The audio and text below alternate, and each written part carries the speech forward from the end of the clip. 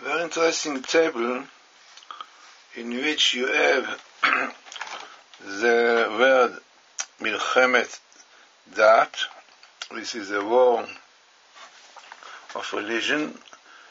Definitely sits the situation now with the Islam, Christianity, the state, Egypt, and all the other Islamic places and uh, what we have here is interesting. We have here the ear, minimal skip. We have here 8 option Ein Dalet, 5007, 7 hours 34.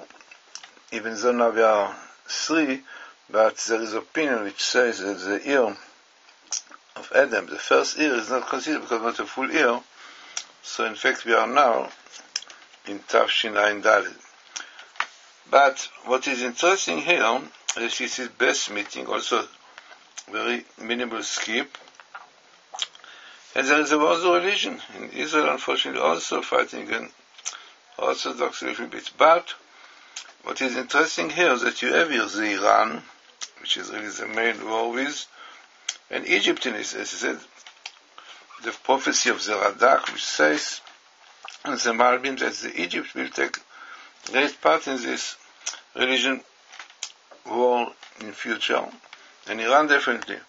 Then what we have here, perhaps the most interesting is exactly coming when Jacob said to his children, I will go to tell you what is going to you, what is going to happen to you in the end of days, and even the numerical value of Ikretchem will happen to you.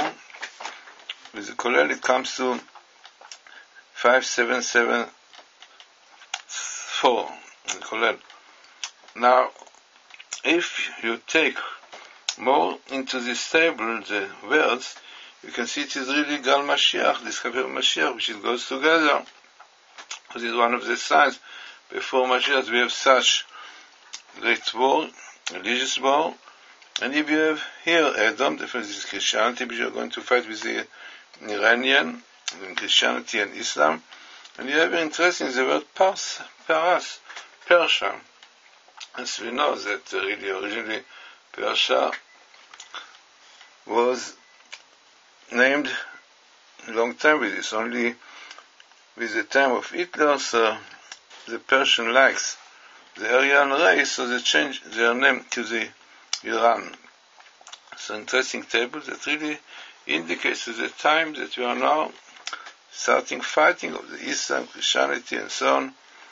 And no doubt this is indication that we are in the end of days, and if you do tshuva, repentance, then Mashiach will be revealed to us. Gal Mashiach, this is the word, the Mashiach will be revealed.